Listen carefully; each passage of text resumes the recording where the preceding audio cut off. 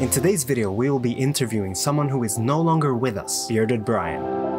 So Bryan, tell us, why did you grow a beard? Well, while I was taking a photo every day for a year, I was growing out my hair. It was looking really cool, so I decided to grow out my beard as well, as much as I possibly could. And I haven't shaved since the 20th of July, 2022. Well, it was really cool to see it grow out, and it looked like it grew very quickly too. Yeah, it did. Was it very hard to maintain? No, for the first three months, I didn't even touch it. I only cleaned up the upper cheeks, and then I started cutting it with scissors. Wait, with scissors? Why not an actual trimmer? Well, I like to be very precise. I used a trimmer once, and I ended up cutting it way too short. And was this the first time you had a beard? No, this is the second time. I had a beard with a different style in 2019. I just let that one grow wild during the summer without ever trimming it. And I never thought I'd be growing it out longer than I did that time. So I'm very surprised and also very happy that I grew this whole thing out. So what's the thing you love most about your beard? I think it makes me look better. I feel much more comfortable with a beard than without. Did you ever get bored of it? Never. Still right now I wish I could keep it, but it's worth it. And did it ever disrupt your life? Like how was was it to take care of your skin? No, I never had issues with doing skincare. I believe my skin is actually doing better with a beard somehow. What was the most uh, annoying thing? Well, I told you what I hated most about my beard in the last things I hate video, so if you haven't seen that, go watch that. But the most annoying thing, I guess, was messing up when I was trimming it. For some reason, the longer it got, the easier it was to maintain. Do you have any advice for someone who wants to grow out their beard? Yes,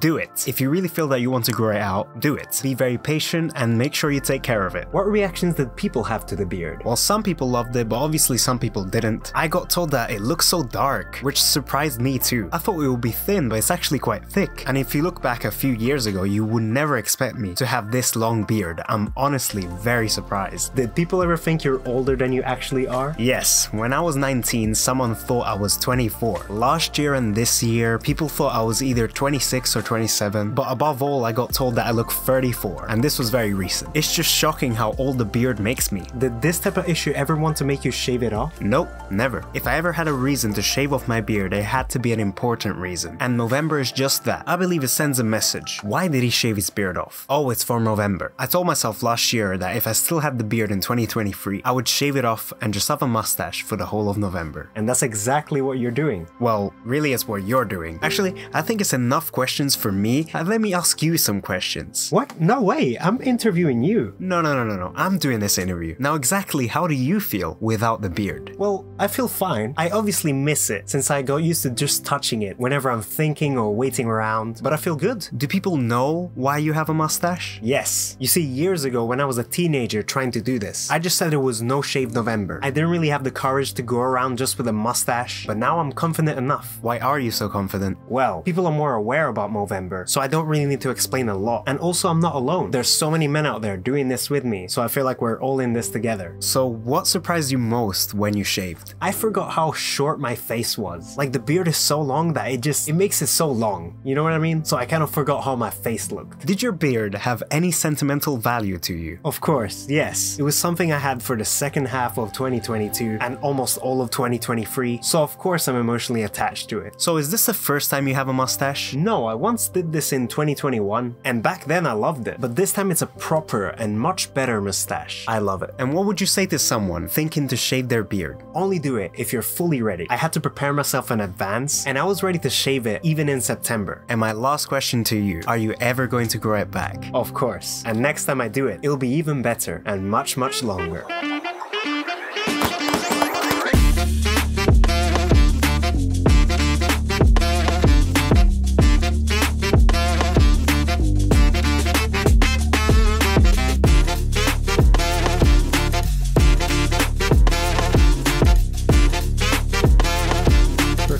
All in this together.